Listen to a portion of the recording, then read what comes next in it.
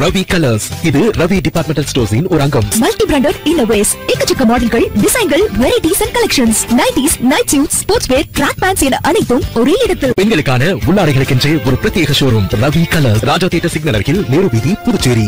அரசு வேலை கிடைக்காததால் சட்டசபைக்குள் சான்றிதழ்களை வீசிய விளையாட்டு வீரரை காவல்துறையினர் கைது செய்தனர். புதுச்சேரி கொம்பாக்கம் புதுநகரை சேர்ந்தவர் சத்யராஜ்.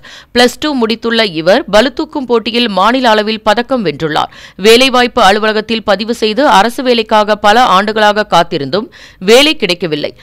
மேலும் விரக்தியடைந்த சத்யராஜ் எட்டாம் தேதி காலை சட்டசபை வளாகத்திற்கு வந்து தனது கல்வி மற்றும் விளையாட்டு சான்றிதழ்களை சட்டசபைக்குள் வீசி எறிந்து இதெல்லாம் ஒரு அரசாங்கமா என ஆத்திரத்துடன் கூச்சலிட்டுள்ளார்.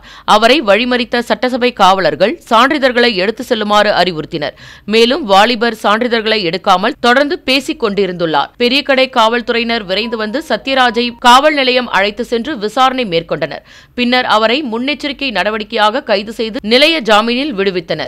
புதுச்சேரி உங்கள் ஏஎம்என் டிவி செய்திகளை யூடியூபில் உடனுக்குடன் காண ஏஎம்என் டிவி பாண்டிச்சேரி சேனலை சப்ஸ்கிரைப் செய்யுங்கள். பெல் பட்டனை மறக்காமல் கிளிக் செய்யுங்கள்.